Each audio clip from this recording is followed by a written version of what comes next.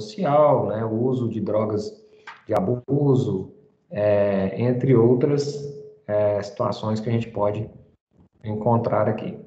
Tá bom? Seja bem-vindo aí, Nayara, Giovana, Gabriel.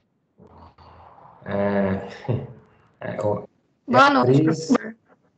Boa noite. Natália, Lisandra, Andréia, Amos, a Ângela, também presente aí, sempre presente, Nathalie, sempre presente, e o Túlio e também a Flávia. Sejam bem-vindos aí, pessoal. Vou iniciar a aula de hoje, né, iniciando aí a unidade 2 do nosso livro, certinho? A gente vai falar sobre né, é, esse assunto aí, ó, de toxicologia, certinho? Na seção toxicologia social, um pouquinho de uso de drogas, dependência, entre situações né, que a gente pode trabalhar em cima disso aí. Pessoal, essa unidade, ela já começa falando sobre este, é o Dr. Marcos aqui, né? O Dr. Marcos abusou da morfina, acabou se tornando dependente. E aí ela conta aqui é um pouquinho sobre esse assunto, certo? Ampliando aqui para vocês, olha. Há alguns anos, né, assim que sua rotina diária começou a se intensificar, o Dr. Marx começou a sentir exausto, que acabou comprometendo seu trabalho. Sua família e amigos também reclamavam, pois ele nunca tinha disposição para o lazer. Todos esses fatores foram incomodando o médico até que um dia ele decidiu experimentar algo que o fizesse se sentir mais disposto para encarar seu dia a dia. Foi sua é, primeira experiência aplicando morfina em si mesmo. Então, assim, nos primeiros dias ele ficou mais eufórico, né, ele percebeu uma sensação de bem-estar, né, porque a morfina ela atua justamente ali é, produzindo né, o papel é, de bem-estar também, além de tirar a dor, ela também é, ela produz o papel de bem-estar. E nessa circunstância, é, ele fez o uso, percebeu que ele ficou mais ativo, mais disposto, né, após a sua rotina diária de trabalho. Então, ele começou a fazer né, o uso constante deste deste fármaco, ok? E começou a estimular demais, obviamente que os dias se passaram, ele começou a precisar de duas doses diárias e por fim se tornou irritado, dependente, não é uma pessoa é, manifestando todos os sinais e sintomas da dependência, certinho? Então, assim, é, drogas estimulantes, gente, é, elas existem, né? A princípio pode até ser benéfico, mas, né, exemplo aí do Dr. Marcos, realmente o final foi desastroso. Nesse caso aqui, né, a pessoa vai passar por uma crise de abstinência quando se retira, né, a, a, a droga que está promovendo ali o bem-estar momentâneo, né, e vai promover um efeito de tolerância. À medida que a pessoa vai usando fármaco, vai usando a droga, é, obviamente que já não tem mais aquela mesma potência é, que se tinha quando outrora né, se, é, inicialmente se utilizou. Então, o organismo vai criando uma tolerância, vai criando ali uma resistência, né? E, obviamente, essa pessoa vai precisando de doses cada vez maiores para satisfazer ali a sua vontade, seu desejo e satisfazer ali também né, a, a sua necessidade orgânica. E é onde a pessoa vicia. Né? Aqui citou o exemplo da morfina, mas poderia ter sido qualquer outra droga. Né? É, a morfina ela também tem um uso é, farmacoterapêutico, né? principalmente em pacientes terminais com câncer, né, que estão ali com uma dor muito elevada, se dá a morfina para esse paciente pelo menos ter um pouco mais de alívio né? É, durante aquele período é, que antecede o óbito. Mas, nesse caso aí, ele utilizou como estimulante, acabou viciando nisso, né? e, final, né, realmente não foi muito legal. Porque aí, obviamente, ele se tornou mais irritado, mais antissocial, né? Então, assim, questão de alguns dias resolveu bastante, porém, é, ele, essa disposição logo acabou, né? E ele se tornou um pouco mais é, preocupado em relação a isso e, obviamente, né, se tornou dependente e aí tem que se retirar né, a, a morfina, onde, nesse caso aqui, gera crise de abstinência. A crise de abstinência, a pessoa fica muito irritada, a pessoa, é, além da irritação, ela fica né, com muita ansiedade, ela fica com a boca seca, ela fica é, com desequilíbrios gastrointestinais, onde pode gerar vômitos, diarreias, né, entre outros males ali provocados por essa crise de abstinência na pessoa. Bom, então, né, esse é o convite ao estudo. Começa né, falando justamente sobre essa dependência. É, citou o exemplo da morfina, mas poderia ser com qualquer outro tipo de droga estimulante, certinho? Então, vamos lá, né, iniciando aqui o nosso estudo. Né, algumas pessoas já tiveram a oportunidade né, de conviver ou conhecer alguém né, que foi ali, de certa forma, viciado né, é, em algum tipo de droga, e a gente sabe que realmente é uma dependência que deixa a pessoa muito, num estado muito complicado, muito inusitado, né, quando se fala dessa dependência droga, da droga, né, da, da, da situação, né, em si, que já é muito complicado.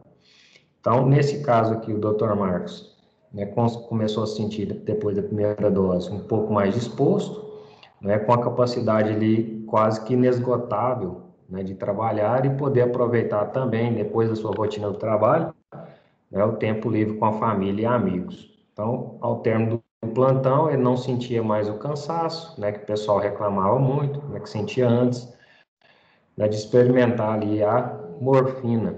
Enfim, encontrar o seu, é, o seu motivo, o seu combustível, vamos falar dessa forma.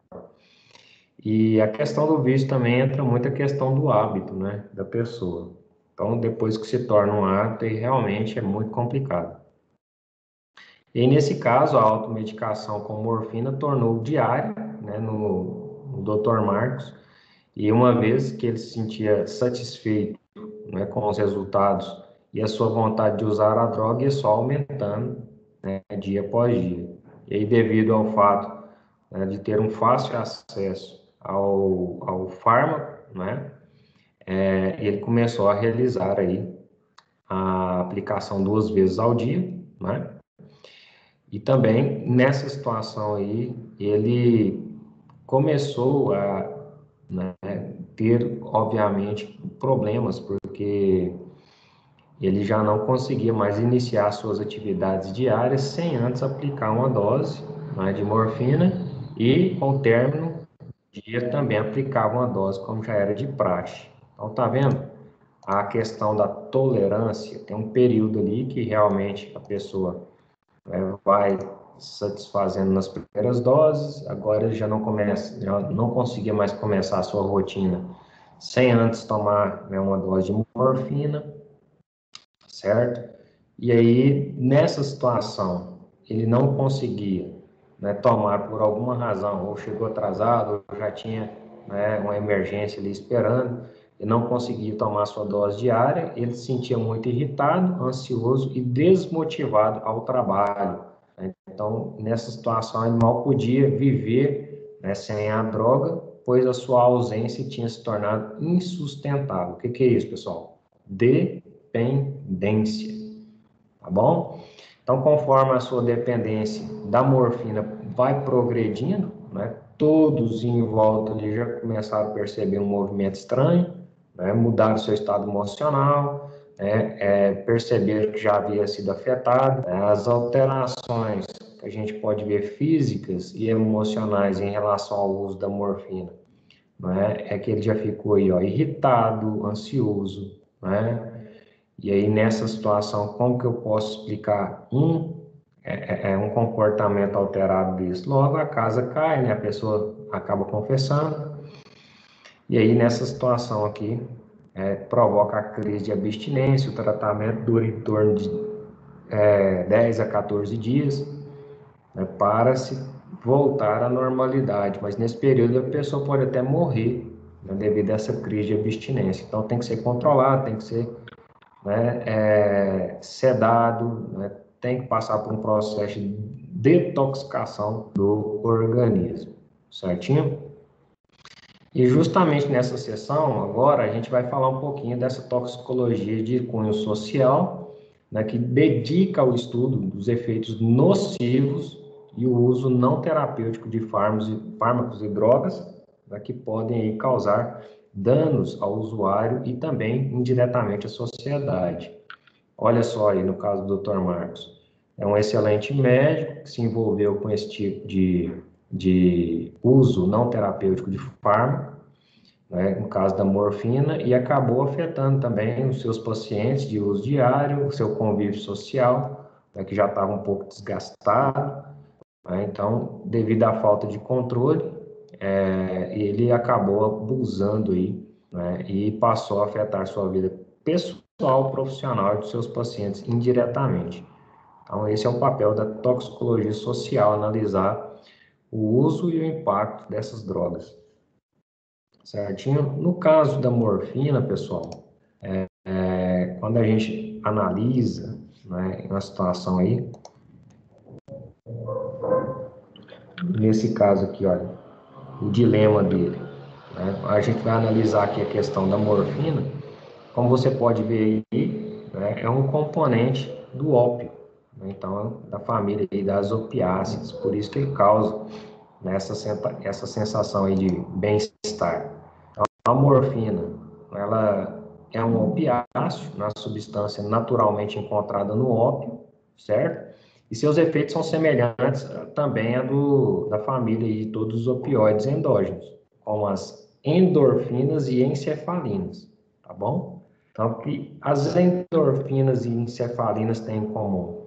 Elas são ligantes naturais dos receptores de opioides, assim como os demais opioides, a morfina né, promove um efeito de bem-estar, de sedação e diminuição da dor, razão pela qual ela é utilizada na clínica médica como analgésico e sedativo pré-anestésico. Tá vendo? Essas propriedades farmacológicas né, acabam aí levando a morfina para esse tipo de uso, né, o uso é, farmacoterápico, e principalmente para levar a pessoa a retirar a dor, a analgesia, e dar também né, um, um, equilíbrio melhor à pessoa, porque ela também promove ali uma reação, uma sensação de bem-estar. Por quê? A morfina ela é bem absorvida através de injeções intramusculares e cutâneas. Então, após essa absorção, que é rápida, ela deixa né, a corrente sanguínea de uma forma também bem rápida, né, de uma farmacocinética ali bem rápida, né, em direção aos tecidos e órgãos como rim, pulmão e fígado. Então, aplicou morfina intramuscular, rapidamente ela atinge órgãos como rim, pulmão e fígado. E também, em menor quantidade, ela atinge também os músculos esqueléticos, certo? Dando aquela sensação de relaxamento, bem-estar, não é? E a concentração da substância morfina no cérebro é baixa devido à barreira hematocefálica, né, que impede é, essa alta concentração ali no sistema nervoso central, certinho? Então, a morfina também ela consegue atravessar uma barreira placentária né, e pode causar uma depressão respiratória né, e uma miose. O que é uma miose? Contração da pupila e síndrome de abstinência também em recém-nascidos. Então, o gestante né, é, não deve utilizar esse tipo né, de fármaco, não, não deve entrar em contato com isso no período da gestação, porque pode causar aí depressão respiratória né, e síndrome de abstinência nos recém-nascidos. E aí, após a sua absorção, ela é biotransformada pelo fígado, que é aquele efeito de primeira passagem, né? E é eliminada principalmente pelos rins, porque ela se torna uma molécula mais hidrossolúvel, sendo excretada quase que 100% em 24 horas. Então, a velocidade da absorção muito rápida, uma velocidade de biotransformação em meia-vida muito rápida e uma eliminação também muito rápida, tá bom? Então, nesse caso, as intoxicações agudas, né, causadas por doses excessivas da morfina, provocam depressão respiratória. Quando a pessoa começa a ter o quadro aí, como o Dr. Marcos né, utilizou, e agora começa a aumentar a dose, pode, ele, pode levar a uma intoxicação, tá bom? É, devido à dose excessiva, e, e nesse caso causando a depressão respiratória, certo? No paciente, também depressão do centro vasomotor, ok? Causando, nesse caso, uma hipotensão arterial e uma liberação do hormônio antidiurético e oligúria. Por quê? Quando eu tenho uma depressão é, da pressão arterial, de cara o rim já aciona a renina. Tá? A renina atinge o angiotensinogênio produzido pelo fígado né, e produz angiotensina que promove vasoconstrição, tentando elevar a pressão arterial. De cara também, o rim lá no túbulo contorcido distal, ele promove a reabsorção de sódio né? e reabsorção de água urinária, concentrando um pouco mais a urina né? e colocando um pouco mais de água e sódio na circulação, que já está com vasoconstrição, dessa forma contribuindo para a elevação da, da pressão arterial, tentando re, reverter né, um, um quadro clínico de hipotensão que é causado aí pela morfina, certinho? Nesse caso aí também, pessoal, nós temos né, a, a, liberação do hormônio antidiurético que contribui nessa situação. Então, olha só, o uso da morfina rapidamente atinge né, os órgãos e tecidos, né, em menor quantidade no sistema nervoso central devido à barreira hematocefálica. Né? E nessa situação aí, sofre efeito de primeira passagem, biotransformação no fígado para se tornar uma molécula mais hidrossolúvel para ser liberado por via urinária. E nessa situação também, pessoal, a morfina, ela é, tem um decaimento muito rápido, por isso que em 24 horas ali, a pessoa já elimina ela do organismo. Vai precisando de uma nova dose. É isso, doutor Marcos, então, começou só depois do plantão, depois já sentiu necessidade de uma dose antes dos, da sua rotina diária de trabalho e após a sua rotina diária de trabalho. Nesse caso aí, né, é, o excesso da morfina né, é devido a um quadro de tolerância do organismo a essa ação.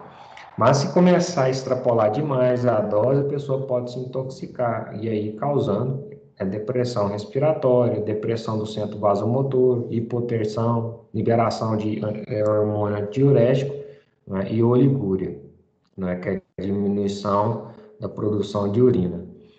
A morfina também, pessoal, ela, ela provoca é uma constrição dos brônquios, que a pessoa vai ter uma dificuldade aí respiratória por causa disso.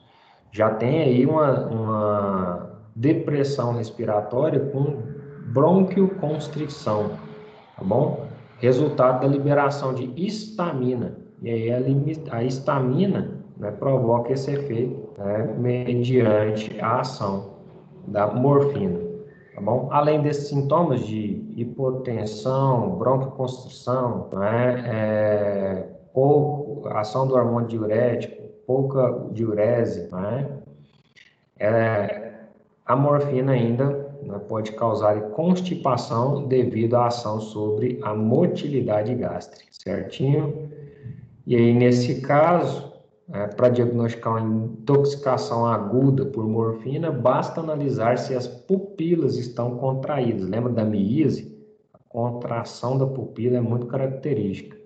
É, e se a respiração está deprimida, então a pessoa está com aquela respiração bem dificultosa, bem deprimida, né? E passando mal, obviamente, e aí você olha a pupila dela, tá bem pequenininha, né? Passa ali, não é uma situação de luz para ver uma contração, ela nem se move, já está muito contraída, que é a miíase. E aí, nesse caso, qual que é o problema? É que essa depressão pode levar a uma insuficiência respiratória, né, que pode levar o paciente a óbito. Então, o excesso de dose de morfina também pode causar parada respiratória, certinho? Agora, a intoxicação crônica, como é o caso aí do Dr. Marcos, todo dia, começou com uma dose pós o plantão, depois duas doses, né, para suprir aí as suas necessidades.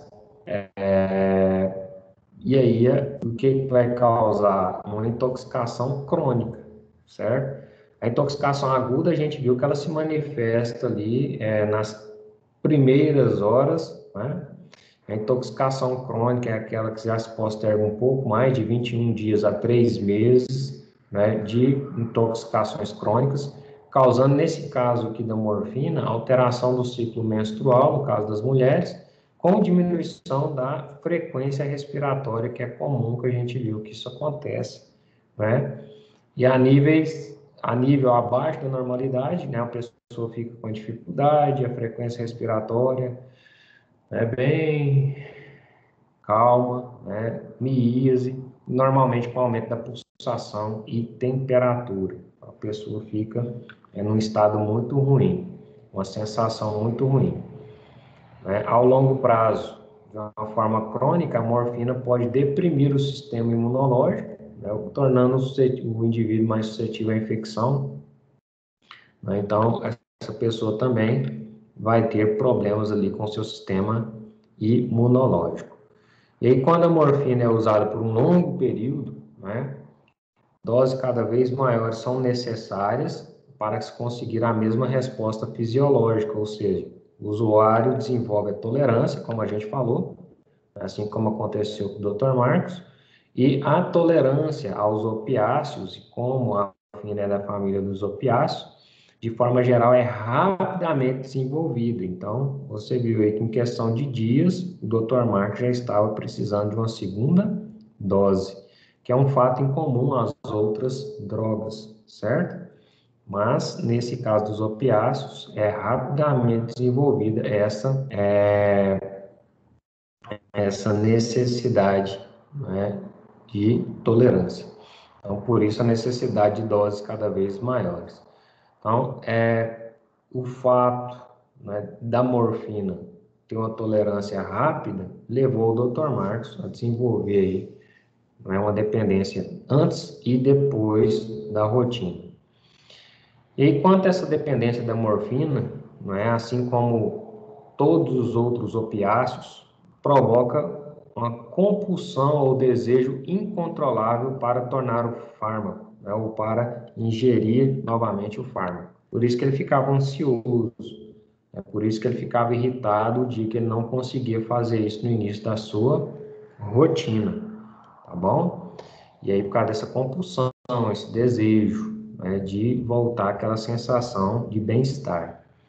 E aí, obviamente, gera a síndrome de abstinência, caso o fármaco venha a ser retirado aí, né, de forma abrupta e aí, nesse caso, promovendo, como eu falei, agitação, ansiedade, uma transpiração né, intensa, um calafrio, febre.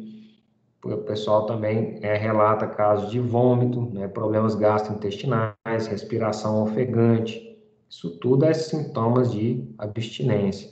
Perca de apetite, insônia, hipertensão, não é? Perca de peso em convulsões durante crise de abstinência. Só porque nesse caso a maioria das drogas de abuso elas promovem um tipo de recompensa com a sensação de bem-estar causada né, é, pelo uso da droga. E não é diferente também né, pelo, no caso da morfina, ela promove né, esta, esse tipo de recompensa. No caso do Dr. Marx buscava né, um, uma, melhor, uma melhora do seu estado fisiológico, né, é, para ficar ali mais sossegado, mais tranquilo, né, com passar um tempo de qualidade com a família. Então, isso foi gerando esse anseio, cada vez né, a dependência de doses maiores, que é uma característica da morfina, certinho. E aí, né, as primeiras injeções provocam a sensação, as primeiras injeções provocam a sensação de bem-estar, né, muito é, intensa, e em poucos meses ocorre né, é, adaptação neurofisiológica, e aí por isso a interrupção abrupta, quando a pessoa para de usar, né, desencadeia uma violenta síndrome de abstinência, a pessoa já fica irritada, já fica ali né, é, com calafrios, com a temperatura corporal aumenta, problemas gastrointestinais, certo? Entre outras situações aí né, que pode sim é, estar envolvida isso. E aí os sinais e sintomas da síndrome é, de abstinência causam um pico entre 36 e 40 horas, que é 48 horas, que é realmente muito complicado, né, passa ali entre o, o, a metade do primeiro dia e o segundo dia, fica aí né, muito complicado, a pessoa fica muito irritada, a pessoa fica muito inquieta, tá bom? Tem a dilatação da pupila, que aí já é o efeito contrário, né? Tremor e arrepio, certinho?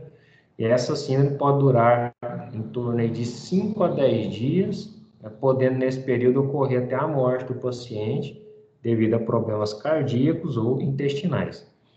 Tá bom? E após esse período, o paciente vencendo, superando essa fase, né, com os efeitos mais brandos, o paciente começa a se recuperar dessa abstinência. Mas realmente é uma dependência complicada. Então, características da morfina aí. Promove uma, uma rápida distribuição, né?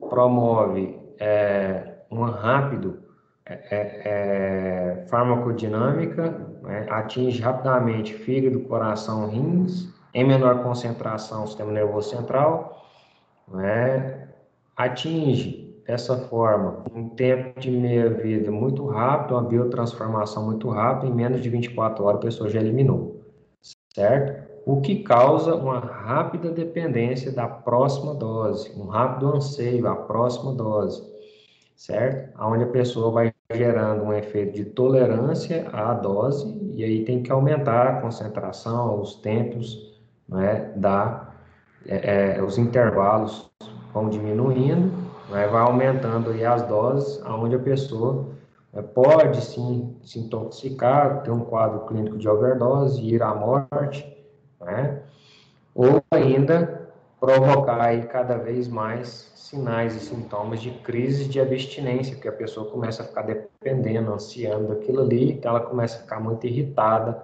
ela começa a pensar somente né, na necessidade dela, que é entrar em contato novamente com a morfina, certo? E aí, nesse caso aí, é, quando é detectada essa abstinência, leva-se ao tratamento, né, e o quadro mais complicado da pessoa se passa ali em um dia e meio e dois dias, onde a pessoa vai ter um pico de síndrome de abstinência muito forte, bastante irritabilidade, problemas gástricos, é, é, ansiedade, né, síndromes de pânico, e essa pessoa também, né, se ela conseguir passar ali os 5 aos 10 primeiros dias mais complicados, ela vai, os sintomas vai se abrandando, e ela vai voltando, recuperando a sua sobriedade. Mas tem pacientes né, que não suportam isso e podem vir a óbito quanto a essa questão do uso né, exagerado aí da morfina, tá bom, pessoal? Então, em tese aí, a gente vê esse dilema do Dr. Marcos, né, que após tomar sua primeira injeção de morfina, Dr. Marcos começou a se sentir mais disposto com a capacidade inesgotável de trabalhar, né, e pôde aproveitar seu tempo livre com a família, com os amigos. Ao término do seu plantão, ele não sentia mais cansaço, né, que sentia antes de experimentar a droga, né, e enfim, ele encontrou o seu combustível. Porém, essa automedicação com morfina tornou-se diária, pois ele se sentia satisfeito com resultados a sua vontade de usar a droga só aumentava Devido ao, ao fácil acesso e à motivação causada pelo uso da droga, as aplicações deixaram de ser diárias após o plantão, passaram a ser realizadas duas vezes ao dia, né, uma antes da rotina e uma após o plantão. O Dr. Marcos já não conseguia iniciar as suas atividades sem antes injetar o combustível e em sua corrente sanguínea. E aí, né, a morfina é um componente natural encontrado no ópio, né, é essa flor aqui, extraído da semente da papoula. Né? Então, essa, essa flor aqui da origem, é, a, essa semente chamada é, é, da papoula, certo? E aí se extrai o ópio, que é da família aí dos opiáceos, e nesse caso também pode se formar a morfina. E aí, nesse caso, olha, sem, se por alguma razão, doutor Marcos, né, não conseguisse tomar a sua dose diária de morfina, ele se sentia irritado, ansioso, desmotivado para trabalhar. Né, ele mal podia viver sem a droga, né, pois sua ausência tinha se tornado insustentável. Tá vendo a abstinência aí, pessoal? Então, conforme a sua dependência de morfina progredia, aí sim, né, todas as suas voltas começaram a notar seu comportamento havia mudado, e que seu estado emocional tinha sido afetado. E aí eu faço a pergunta: quais as alterações físicas e emocionais que a morfina teria causado ao médico? Porque o que a gente falou da crise de abstinência ou da necessidade, se ela não tomasse, o médico ficava irritado, ficava nervoso, ficava ansioso, transtorno de humor, né, desmotivado a trabalhar, certo? Né? Então, ele precisava ali do seu combustível. E aí, como que explica o seu comportamento alterado? A abstinência da droga, né? levando aí a esses sinais e sintomas neurofisiológicos da dependência, certinho? Então, essa é a situação. E aí, os conceitos fundamentais dentro dessa situação, problema que a gente apresentou, né, foi a dependência e tolerância aos opioides. Entre os opioides, nós temos aí a morfina, como exemplo citado, né, dentro dessa situação, problema. Então, dependência. A morfina causa uma dependência muito rápida, lembram disso? E a tolerância, né, também uma tolerância muito rápida, certo? E a pessoa sempre vai precisar de uma dose a mais, ela vai ansiar por isso. E os efeitos adversos né, são aquela hipotensão, né, a pessoa pode ficar por quadro de intoxicação com a diurese baixa, com a hipotensão arterial, com a respiração é, deprimida, né, e pode até levar uma parada respiratória por causa disso. Além disso, pode ter aí também problemas de é, liberar a estamina dos basófilos, o que provoca é, bronquioconstrição. Nessa situação, a pessoa vai ter mais dificuldade respiratória ainda, certinho? Então, esse é o, a situação, problema, envolvimento né, com opiáceos e a sua dependência, que é rápida, intoxicação aguda né, e intoxicação crônica, foram as situações que a gente discutiu. Alguma dúvida até aqui, pessoal? Agora a gente vai falar um pouquinho né, de medicamentos sintéticos e fitoterápicos, certo?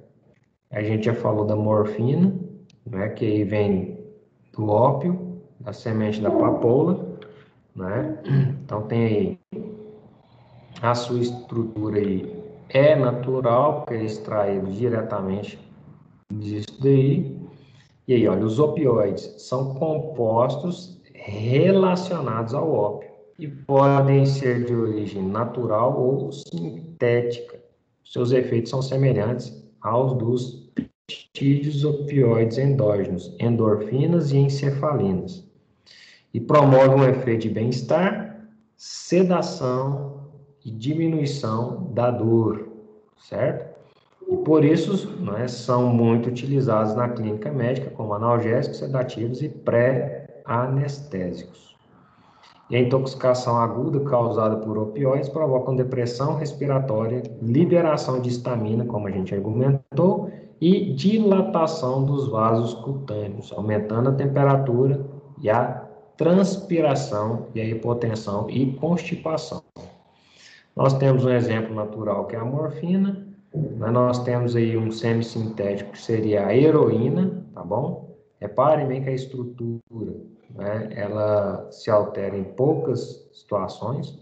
E aí o sintético pentazocina, tá bom? A heroína, ela, ela dá, além dessa sensação aí de bem-estar que a morfina dá também, a heroína tem um papel aí de rapidamente a pessoa se sentir assim, um herói mesmo, né? Ela consegue resolver todas as situações, todos os problemas, né? Ela fica bastante é, energizada e para cima, se sentindo realmente um super-herói. Por isso o nome heroína, tá bom?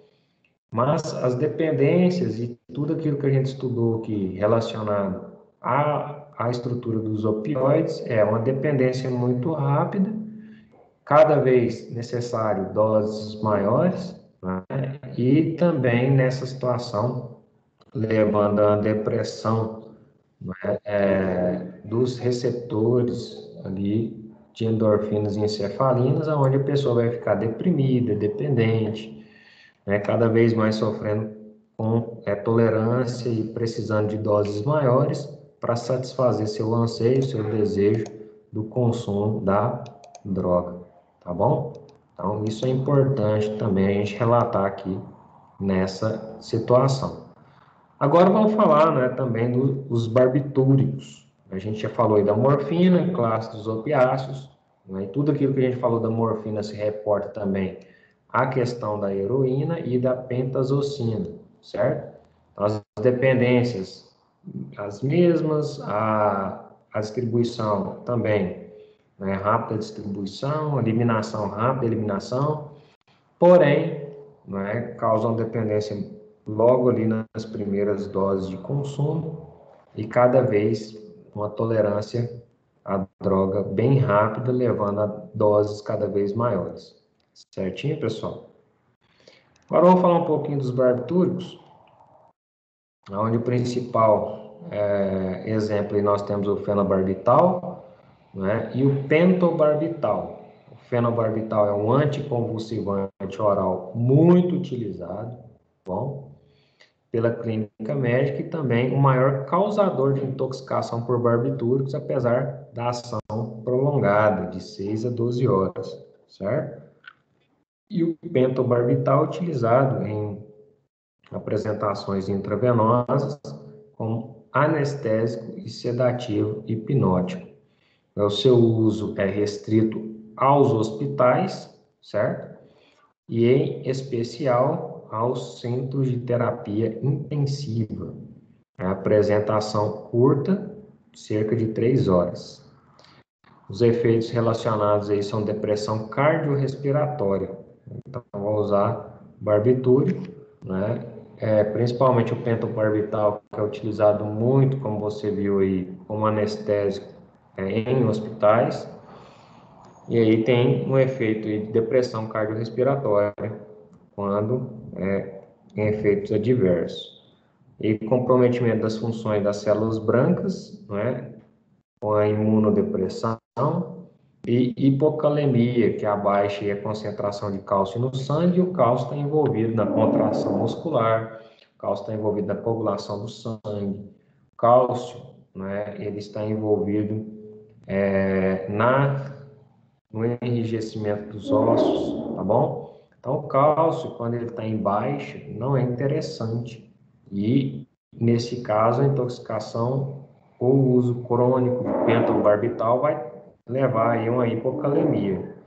É muito comum, né, a gente, em centro cirúrgico ou quando a gente trabalha em hospital, a gente encontrar é, o paciente ali internado por muito tempo, usando esse tipo de sedativo, logo começa a provocar uma hipocalemia no paciente certo?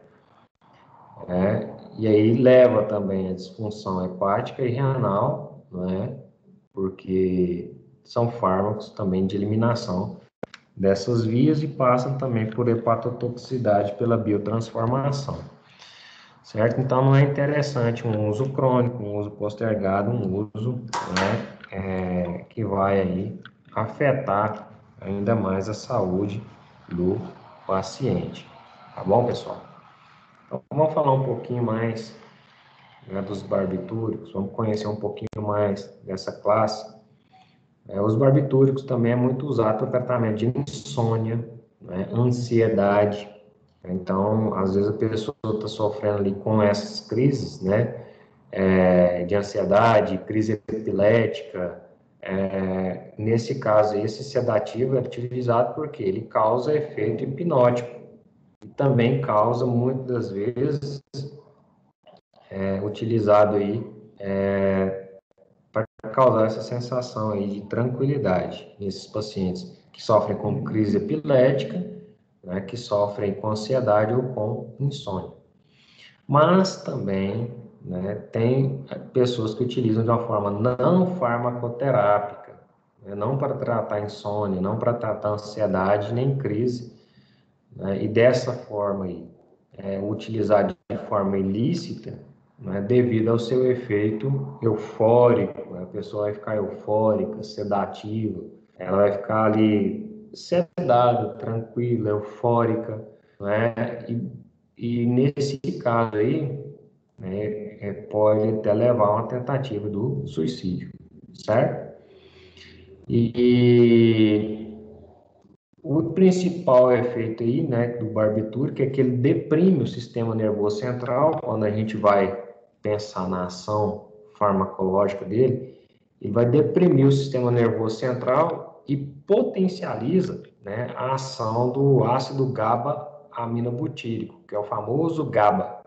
Então, por um lado, ele faz a depressão do sistema nervoso central, por outro, ele ativa né, a ação da GABA, que é o ácido gama-aminobutírico. Ele provocando com essa situação uma leve sensação de hipnose, certo? A pessoa fica né, vidrada, hipnotizada, né? E até pode ser induzido ao coma profundo, né? Em algumas situações hospitalares a gente faz isso. E os efeitos adversos relacionados ao uso dos barbitúricos de forma aguda em altas doses ou crônicas é a depressão, perdão, a depressão cardiorrespiratória, tá?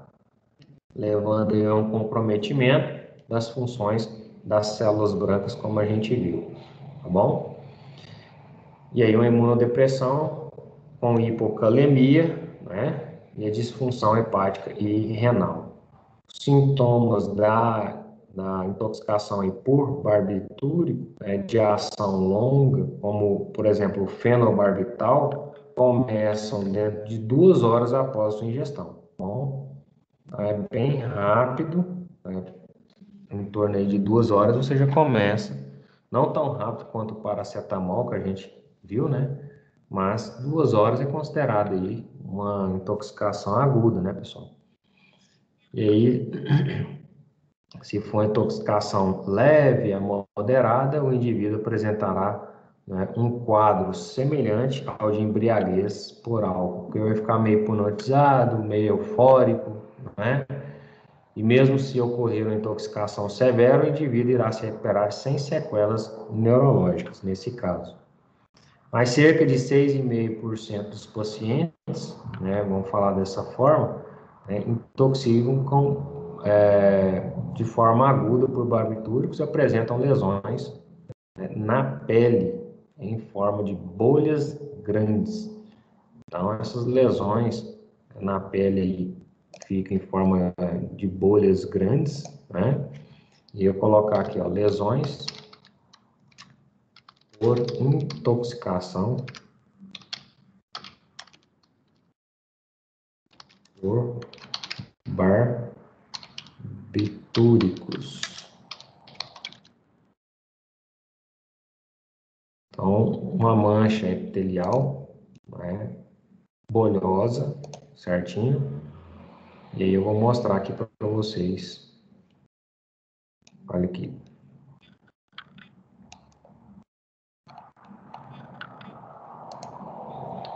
Vou pegar aqui uma foto e compartilhar aqui com vocês.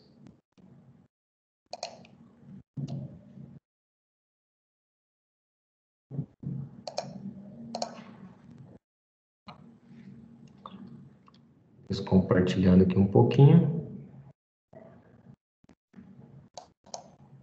A pessoa vai ficar assim, ó. Vou demonstrar aqui para você. Compartilhando aqui de novo. Porque eu me esqueci de colocar essa foto. Eu gosto né, de demonstrar com imagens também, que fica mais, é, é, mais elucidativo, por assim dizer. Vamos lá, então. Compartilhar aqui.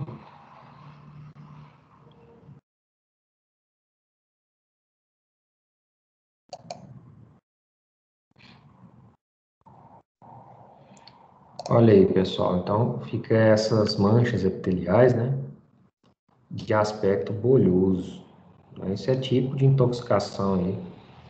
É nesses casos que a gente está analisando. Então, a intoxicação por barbitúrico tem essa expressão aí. Né? Então, a eritrema né, fica bem vermelho, bem avermelhado é um rubor formando bolhas, certo? E aí é um uso abusivo, né, de barbitúricos, seja para ansiedade, seja para né, é, sensação de bem-estar, enfim, a pessoa fica intoxicada com essa situação. Já o fenobarbital, né, como a gente viu é, no slide anterior, fenobarbital utilizado aí como um anticonvulsivante, né? de ação prolongada de 6 a 12 horas. E é muito utilizado nos dias de hoje. Então, além desse fenobarbital, outros, dois outros barbitúricos são utilizados no Brasil. Aí tem um exemplo do pentobarbital e o tiobarbital, tá bom? Então, além desse pentobarbital aqui também, nós temos né, um outro que é muito utilizado, que é esse aqui, ó, o tiobarbital. Tiobarbital. Certinho, pessoal? Olha só que interessante é, dentro dessa análise que a gente está fazendo aí, é, quando a pessoa, é, porque esses dois fármacos aí são administrados via intravenosa e são de uso restrito hospitalar, né? como a gente viu aqui nesse slide, ó, intravenoso e restrito hospitalar, certinho? Diferente aqui deste outro não é fenobarbital, que já não tem aí um uso que você pode encontrar aí é, sem ser em ambiente hospitalar, certinho? E aí, nesse caso, ele provoca né, um, uma situação aí de fármacos com muito, muito envolvendo pessoas com intoxicação, né, devido é a sua falta de especificidade pelo sistema nervoso central, é o seu baixo índice terapêutico né, e a grande ocorrência de interações medicamentosas. As pessoas acabam se intoxicando muito com esse fármaco, tá bom?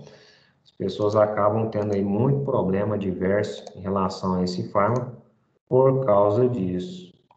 E aí as estratégias para né, caso alguém venha se intoxicar né, com algum tipo de barbitúrico, é o que? Você precisa de uma terapia suporte, é estabilizar e manter os sinais vitais, porque a pessoa vai ter uma parada respiratória por causa dessa intoxicação. É, além desses quadros de eritema bolhoso, epitelial, já é um primeiro sinal e sintoma, pode avaliar se a pessoa pode ter uma parada respiratória a qualquer momento, né? E aí, nesse caso, tem que estabilizar, né? manter ali os sinais vitais até a chegada de um auxílio. Né? Então, é, não precisa, nesse caso aí, você precisa fazer uma ventilação do paciente, né? Em razão da parada respiratória. E nessa parada respiratória, acaba que o coração vai parar, né, em questão de algum momento.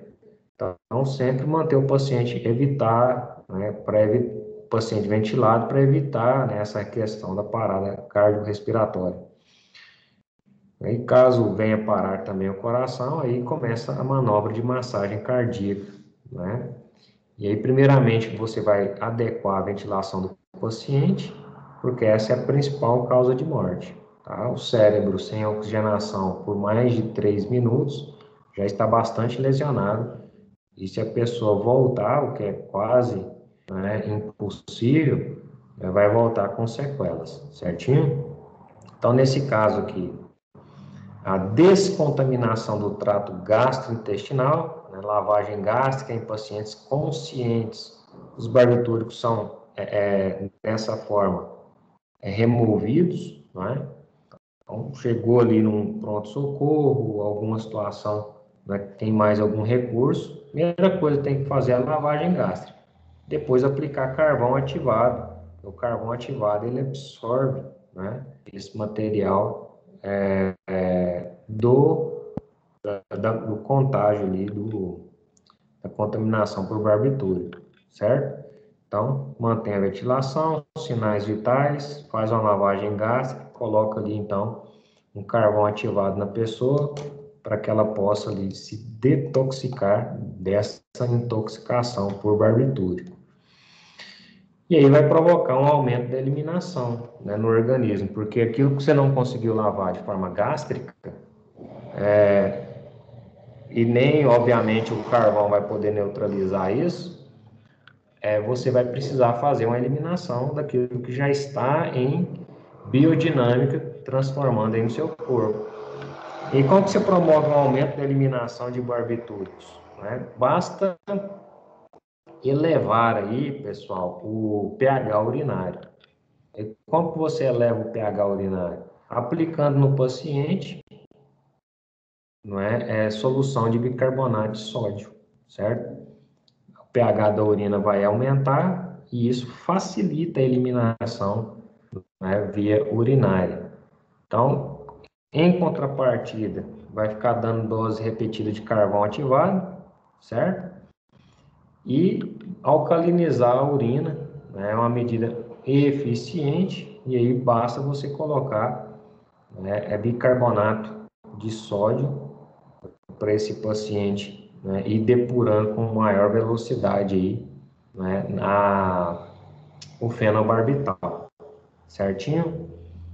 Então, nesse caso aqui, por que, que a alcalinização é importante? Porque o pKa né, de 7,2 do fenobarbital terá 96% de sua molécula na forma não ionizada. Então, devido ao pKa 7,2, 96% dessa molécula é não ionizada. E aí, dessa forma, quando você alcaliniza a urina, né, você facilita a eliminação dessa droga por via urinária. Tá bom? Dessa forma aí, pessoal, você consegue melhorar a excreção né, dos barbitúricos, certo? Agora, em relação, a gente falou um pouquinho de tiobarbital, pentobarbital, né? Em relação aí é, falamos também, perdão, né, do fenobarbital, dessa intoxicação. Agora, os benzodiazepínicos, tá bom? Os benzodiazepínicos aqui estão entre os fármacos mais prescritos e utilizados no mundo, certo?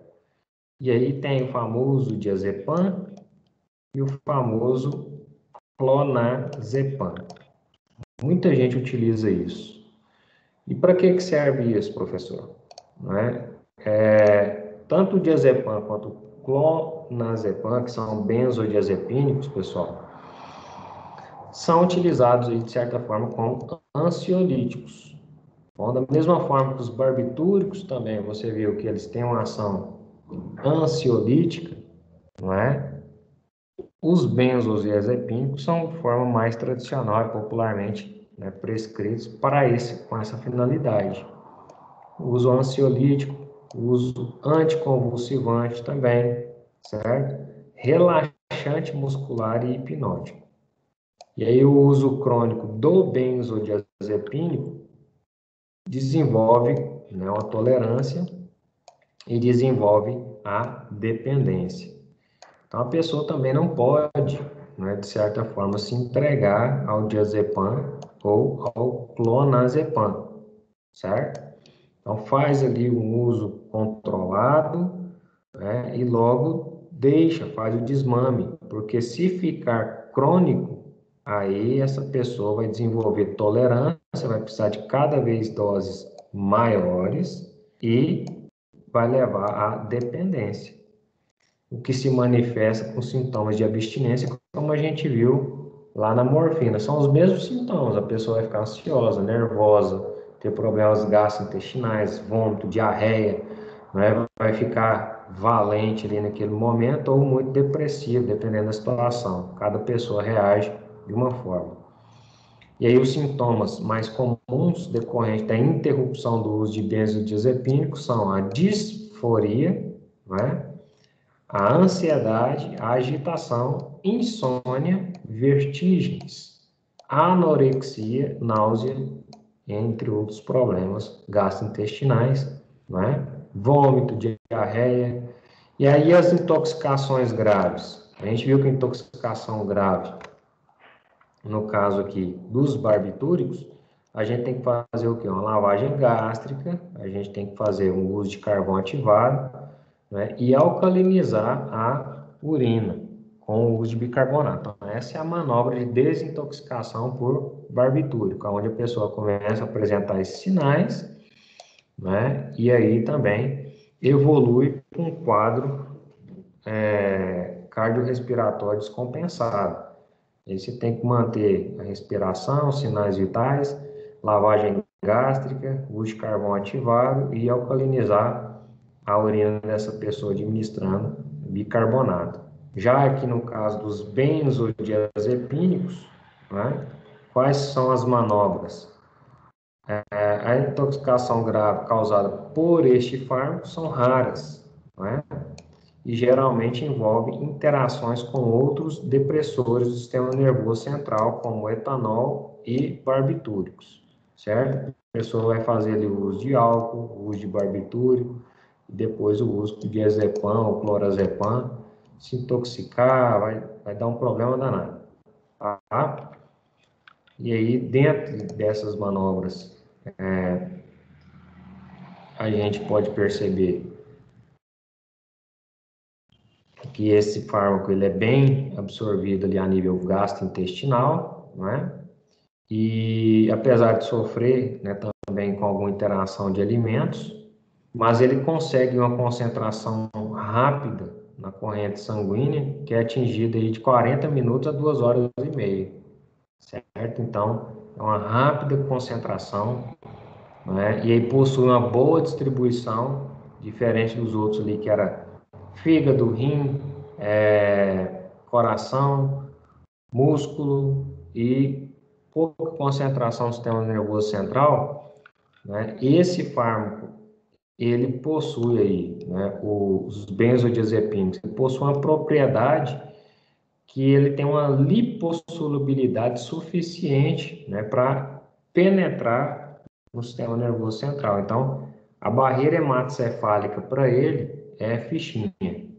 Ele, nesse caso, a maior parte dos benzodiazepínicos é altamente ligada à proteína plasmática. Né? E aí apenas 2% fica livre na circulação, o que promove, como a gente viu na unidade 1, né, o efeito terapêutico, certo? Quando a proteína está ligada a uma proteína plasmática, quando o fármaco está ligado a uma proteína plasmática, ele fica inerte. Né? Então, isso afeta na atividade farmacológica dele. E nesse caso, 2% apenas do benzodiazepínico está livre, porém ele tem uma alta lipossolubilidade e consegue penetrar com mais agilidade ali no sistema nervoso central. E nesse caso também, os benzodiazepínicos sofrem um intenso, é, uma intensa é, é, efeito ali de primeira passagem, né? E aí, nesse caso, tem uma curta é, meia-vida por causa dessa intensa efeito de primeira passagem, ele vai decaindo, decaindo, decaindo, e aí elimina, né, é, de forma aí urinária, né, e em menor concentração em forma fecal, certo? Maior parte é via urinária, a menor concentração por via fecal, tá bom? E aí, por que que ele causa pouca intoxicação, pessoal? Porque é uma classe muito segura, né? É, é, devido aí ao seu uso isolado, certo? E normalmente, como a gente vê nesse slide aqui, geralmente as intoxicações ocorrem quando associada a outros tipos de depressores do sistema nervoso central, como etanol e barbitúrico. A pessoa ingere álcool, toma esse medicamento, vai dar ruim. Ou ingere um barbitúrico junto né, com um benzodiazepínico, também vai dar ruim, certo? Então é mais um, uma questão de uso associado aí é, os problemas mais graves. Intoxicação muito pouca, né? E aí, nesse caso aí, a associação com antidepressivo é comum né, na clínica, na prática médica, tá bom? Só porque aí a gente observa os efeitos colaterais, né? Que é uma letargia, uma sedação, uma perca temporária é, da sensibilidade ao movimento, perda da coordenação motora. Né? Então, muitos pacientes devem ser cautelosos nesse caso aí, certinho? E aí, para tratar essa intoxicação por benzodiazepínico, é necessário a administração de um antídoto, antídoto, e o antídoto é esse aqui, ó, o flumazenil, certo? escrever aqui para você. O antídoto para intoxicação com isso aqui, você vai administrar fluma... Escorregou o mouse aqui, peraí. Deixa eu escrever bonitinho. Antídoto é o flumazemil.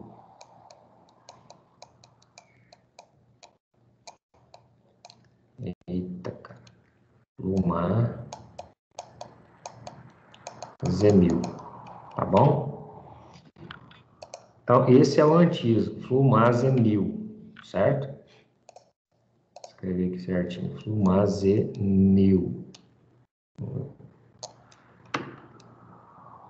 E, pessoal, a pessoa intoxicou, né? Aplica o antígeno flumazenil. Porque o flumazenil, para quem não sabe, ele é um antagonista seletivo dos receptores GABA, aonde esses fármacos benzodiazepínicos vão atuar. Então, se é um antagonista, um vai antagonizar, antagonicamente inibir o efeito do outro. E aí bloqueia a ação do benzodiazepínico, né? Porém, esse antídoto, o flumazenil, deve ser usado somente se a intoxicação for causada única e exclusivamente por benzodiazepínico e deve ser administrado de forma lenta. Porque, como você viu, é comum uma pessoa associar benzodiazepínico né, com é, outros fármacos, como é o caso aqui dos barbitúricos, tá? E aí, se for junto não dá. Agora, se for só o benzodiazepínico, aí sim. O flumazenil faz efeito antagônico ao efeito do benzodiazepínico. Antagonismo. E aí você consegue melhorar a questão da intoxicação do paciente de uma, de uma tratativa aí química, é? E aí, doses altas de flumazenil pode causar também muita agitação e sintoma de abstinência. Então, tem que ter cuidado aí até na hora de fazer a questão do antídoto, certinho? Então, pessoal, a gente viu aí duas classes importantes, né, os opiáceos, na verdade, três, opiáceos, os barbitúricos e os benzodiazepínicos, suas intoxicações e como né, esses fármacos podem ser, em caso de intoxicação, como que pode ser tratado. A gente viu que a morfina leva a uma crise de abstinência e a pessoa pode ir até a óbito por causa disso. Né? Assim como também a heroína, não é? É que também faz parte dos opiáceos. A gente viu, né, no caso dos barbitúricos, aí, a gente tem que alcalinizar a urina, né, fazer uma lavagem gástrica, e no caso exclusivo aí dos benzodiazepínicos, se for somente benzodiazepínico que está causando a intoxicação, aí você vai administrar em doses baixas e lentamente o flumazenil, tá? Promovendo aí um efeito antagônico ao benzodiazepínico. Por que se administra então o flumazenil? Porque ele promove o seu efeito antagônico, certo? E desse efeito antagônico aí, obviamente, vai bloquear a ação do benzodiazepínico. Agora vamos falar um pouquinho sobre medicamentos fitoterápicos, né? No caso aí a babosa, certo? E o ginkgo, ok? A babosa, quem não conhece nessa plantinha aqui no quintal da vovó, certo? Ou tem gente que tem isso aqui até em casa mesmo. Esse gel da babosa, né? Pegar essa planta, cortar, ela tem um gel é amplamente utilizado né, na indústria farmacêutica de forma terapêutica, cicatrizante, que é o famoso gel de aloe vera. Né? Tem um potencial incrível cicatrizante, farmacêutico, é, e também até, por que não, rejuvenescedor, certo? É uma das plantas mais populares, né? E pertence ao gênero aloe por isso que tem essa aloe vera. Ele é utilizado popularmente como cicatrizante. O gel de aloe vera é conhecido para aliviar também sintomas na cicatrização e queimaduras. É, atualmente é muito utilizado nas indústrias de cosméticos, alimentos e medicamentos, como a gente sabe, né, em relação ah, ao consumo porque está envolvendo aí cosméticos, questão de, de reve, rejuvenescimento, tá bom? É, alimentos também contendo aloe vera, tá? E medicamentos também contendo aloe vera, certinho? Admitir aqui. Ok. É, porém, pessoal, né, a gente tem que saber que é uma planta, pode ser né, que tenha a, a sua toxicidade, certo? É, estudos apontam em relação à presença do látex na planta de aloe vera como causador de dano no DNA, tá vendo? O pessoal pega isso aí fica engolindo em cápsula. Eu já vi gente pegando isso aí passando na, no, no, rosto. Então tem que ter ali uma propriedade farmacológica, tem, mas tem que ser tratado, tem que ser industrializado. Então não faz isso não, tá bom? Então esse tipo de planta pode causar danos no DNA e esses danos podem lesionar genes supressores e promotores da oncogênese. Supressores da apoptose, promotores da oncogênese e induzem a formação tumoral, tá bom?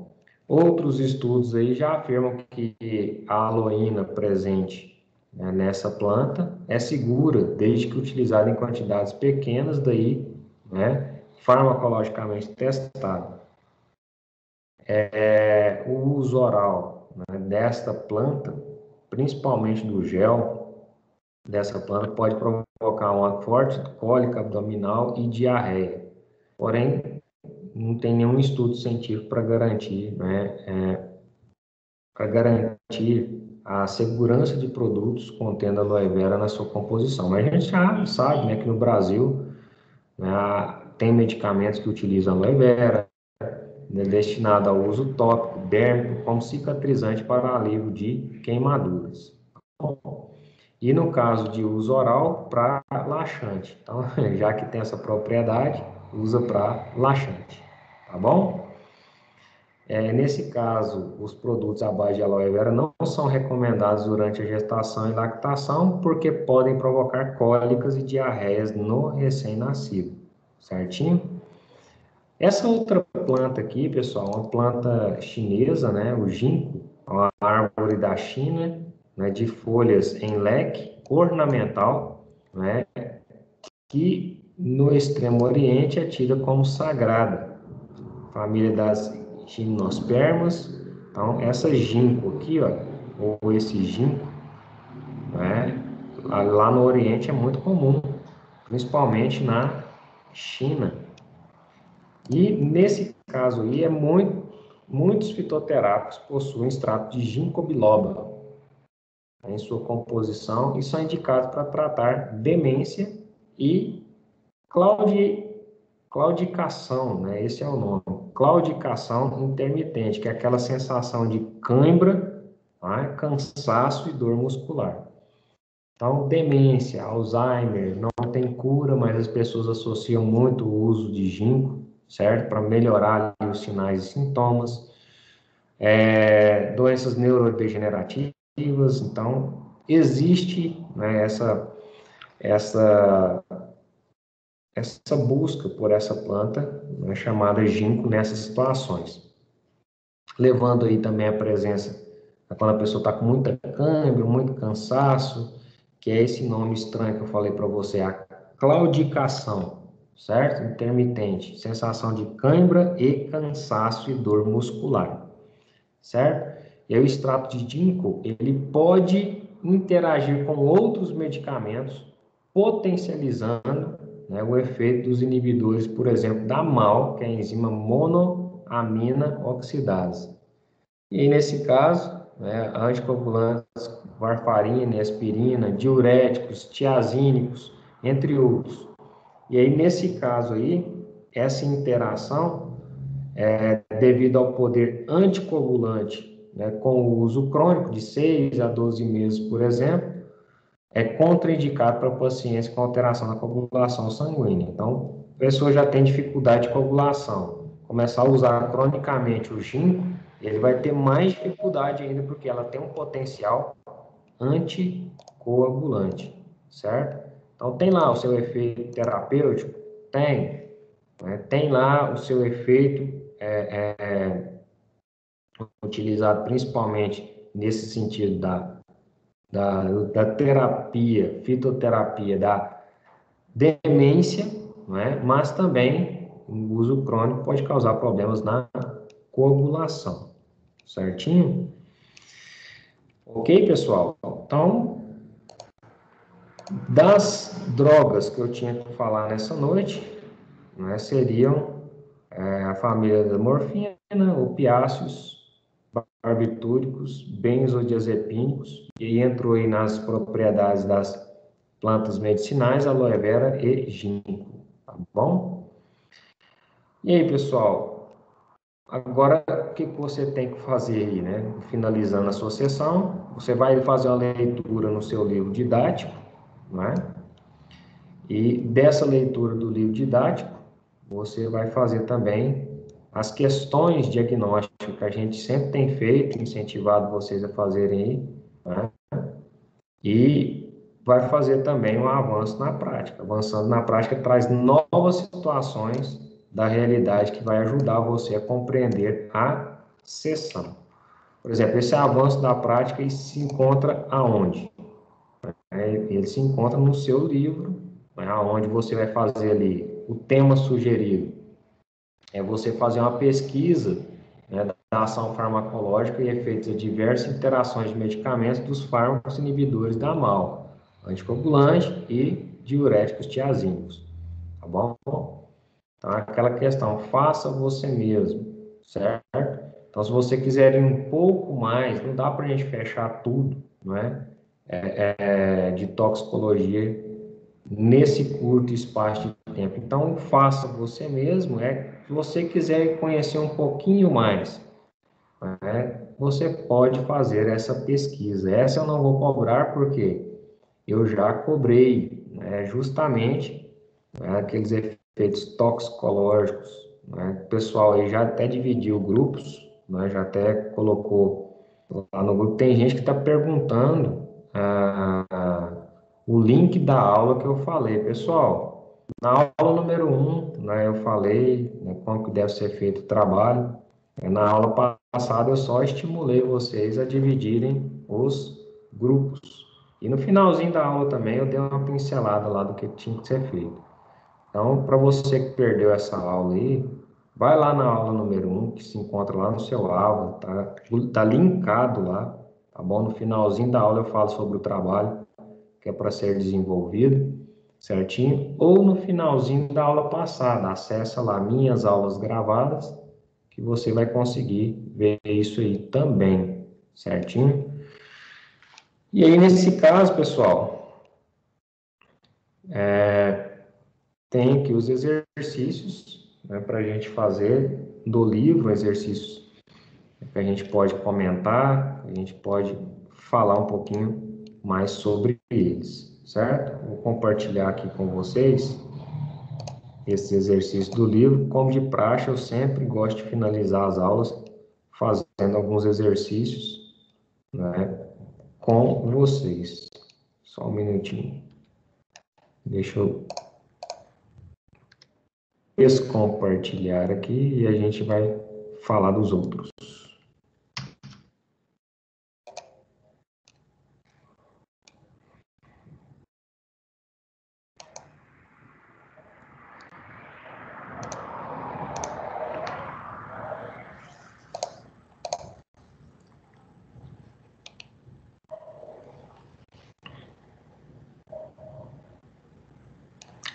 Compartilhar aqui os exercícios do livro, que eu já deixei aqui prontinho.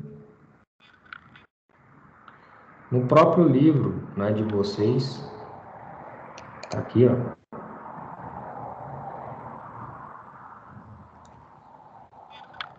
A cada final de sessão, né, você tem três exercícios.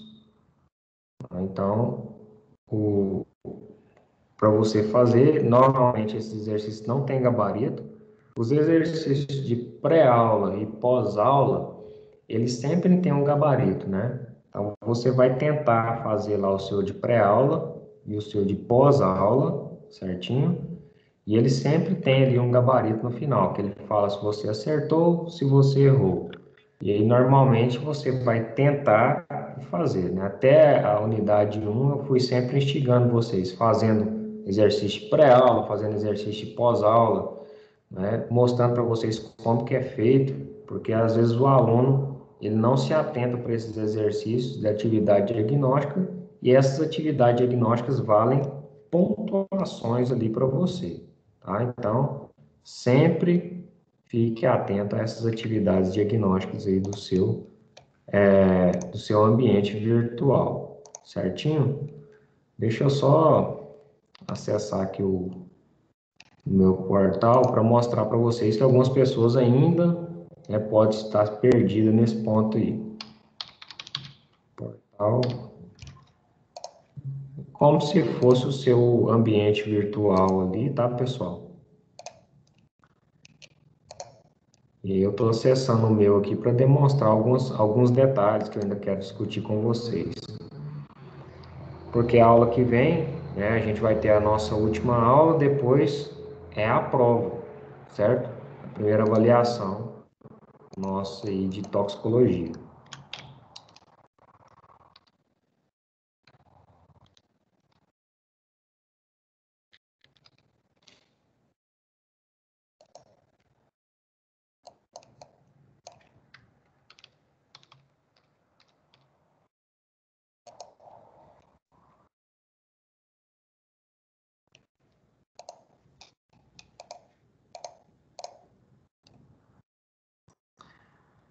Então, olha só, nesse primeiro exercício aqui, os opiáceos são substâncias naturais encontradas no ópio, como a morfina e a codeína.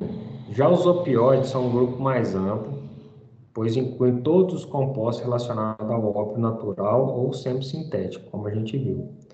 A respeito do grupo dos opiáceos e opioides, podemos afirmar que seus efeitos são semelhantes aos opioides, endorfinas e encefalinas. O que vocês acham aí?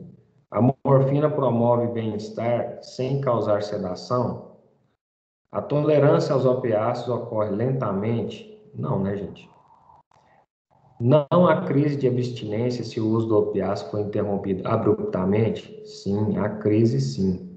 A morfina não causa dependência? Causa dependência sim. Tá bom? Então, a alternativa correta aí né, é a letra A, visto que a morfina promove bem-estar sem causar sedação, ela causa sedação sim. Né? Não à toa que ela é utilizada aí na, no, na, na terapêutica para sedar paciente terminal, né, como eu, eu abordei no início dessa aula, tá bom? Então, a que mais, a que melhor representa aí a respeito dos opiáceos é a letra A, onde fala que seus efeitos são semelhantes aos dos opioides endógenos, endorfinas e encefalinas, tá bom? Então, gabaritando aí para você essa questão, seria exatamente isso, certo? Num outro contexto, essa questão aí, número 2, né, ela vem de encontro é, falando no seguinte enunciado. Vamos dar uma lida nele aqui então. Em conjunto, né, a gente vai satisfazer aqui essa questão também. A morfina é a principal substância do ópio e tem sido muito usada para o alívio de dores viscerais e intensas. Sobre as características da morfina, é correto afirmar que é mal absorvida e é eliminada pelo rim, ela é bem absorvida, né, gente? Então, é bem absorvida e é eliminada pelas fezes? Não, ela é eliminada pelo rim. Então, é bem absorvida e é eliminada pelo rim. Então, letra C. Letra D, após absorvida, atinge os tecidos lentamente? Não, a gente viu que é rapidamente ela atinge órgãos como coração, é, pulmão, fígado e rim, tá? Após absorvida, segue em maior quantidade aos músculos esqueléticos? Não. Em maior quantidade esses órgãos que eu acabei de citar e em menor quantidade aos músculos esqueléticos. E em menor quantidade ainda ao sistema nervoso central devido à barreira hematocefálica e ela ser uma molécula muito hidrossolúvel. Por isso é eliminada pelos rins. A letra C é a alternativa correta que preenche ou satisfaz essa questão, tá?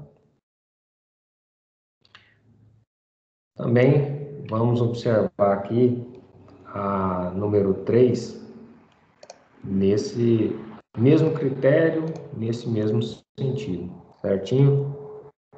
Vamos lá, vamos fazer a leitura aqui dessa número 3. A intoxicação aguda causada pela morfina são resultados de altas doses administradas acidentalmente ou por dependentes ao uso da droga. Sobre os sintomas da intoxicação aguda pela morfina, é correto afirmar que.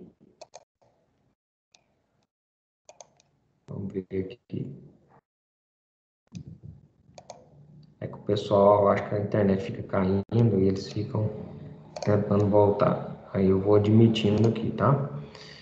Então, sobre os sintomas da intoxicação aguda pela morfina, é correto afirmar que provoca apenas depressão respiratória. Não é só apenas depressão, né? Contrai as pupilas, provoca hipertensão, não, provoca hipotensão. Dilata é, as pupilas? Não. Diminui a temperatura corporal? Não. Então, letra B, né? Contrai as pupilas, que é a famosa é, a contração pupilar, né, que é a, a, a que mais correta está aqui, porque não provoca apenas depressão respiratória, mas também contrai que matou essa questão letra A foi apenas, tá? Então, a letra B aí seria a alternativa correta da número 3, certinho? E aí, esses são os três exercícios relacionados ao seu livro. Depois a gente vai entrar na seção 2.2, a gente vai falar um pouquinho mais de drogas de abuso, né? É, dentro dessa sessão. Agora vamos lá, vou compartilhar aqui a tela, já está aberta aqui, a tela de pré-aula, só um minutinho, para a gente fazer alguns exercícios lá também. Aí. Vou compartilhar aqui para a gente ir lá nos exercícios de pré-aula, toxicologia.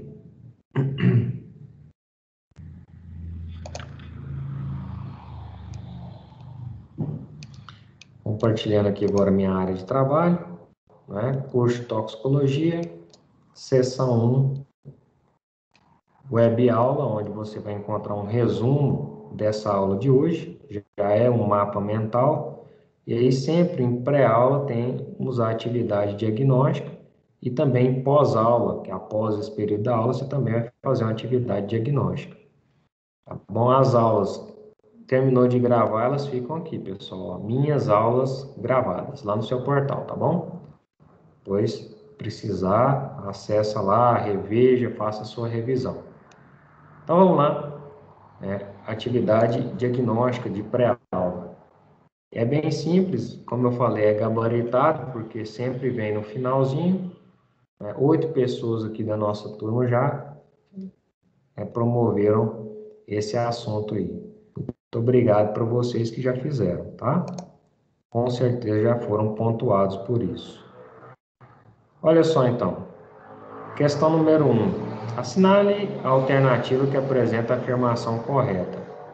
A morfina não é capaz de causar síndrome de abstinência já em recém-nascidos? Está errado. Tá? Tanto é que mulher grávida nem pode usar porque causa síndrome de abstinência em recém-nascidos. A morfina não consegue atravessar a barreira placentária? Consegue. A morfina promove um efeito de bem-estar, sedação e diminuição da dor? Letra C, alternativa correta, né, gente? Letra D, a morfina é eliminada principalmente pelas fezes? Não, ela é eliminada pela urina. E letra E, né, a morfina é mal absorvida através de injeções intramusculares e cutâneas? Pelo contrário, é bem absorvida e rapidamente absorvida. Então, número 1, um, letra C. Desculpa aí. Questão número 2. Os benzodiazepínicos né, são muito populares. Né, lembra lá do diazepam, né? São muito populares em todo o mundo e, por isso, estão entre os fármacos mais prescritos e utilizados. Analise as afirmações sobre essa classe de medicamentos. Número 1. Um, todos os benzodiazepínicos possuem ação prolongada. todos pode, perdão, pode apresentar ação prolongada ou curta, dependendo da meia vida de eliminação. Então, o que a gente viu, pessoal? Os benzodiazepínicos né, ele tem uma, uma meia vida de eliminação muito rápida, então a ação dele não é tão prolongada, não. Depende do, da, do tempo de meia vida, tá? Sofre intenso metabolismo de primeira passagem. Então, nesse caso aqui, quando a gente analisa lá, nossa, a garganta está secando, gente. Deixa eu só tomar uma água aí, peraí.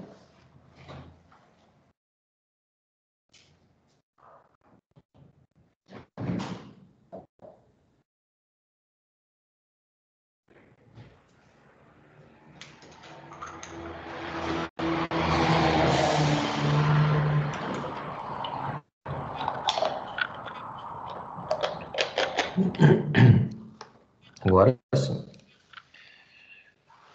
Quando a gente vai lá no livro didático, né, a gente analisa lá a questão dos benzodiazepínicos, olha lá, ele fala justamente isso. É, os benzodiazepínicos, ah, olha aqui, ó, essa classe de medicamentos sofre intenso metabolismo de primeira passagem, certo? Então, essa questão aqui, número 2, ou é a número 3 que fala, sofre intenso metabolismo de primeira passagem, ela está verdadeira, tá bom? Agora, essa 2 aqui também ó, pode apresentar ação prolongada ou curta, dependendo de meia-vida, da meia-vida de eliminação. O que que fala lá no livro? Alguns possuem ação curta, enquanto outros mantêm ação prolongada, dependendo de meia-vida da eliminação. Então, a 2 e a 3, elas estão corretíssimas, tá bom? Então, 2 e 3 correto, letra A, certinho?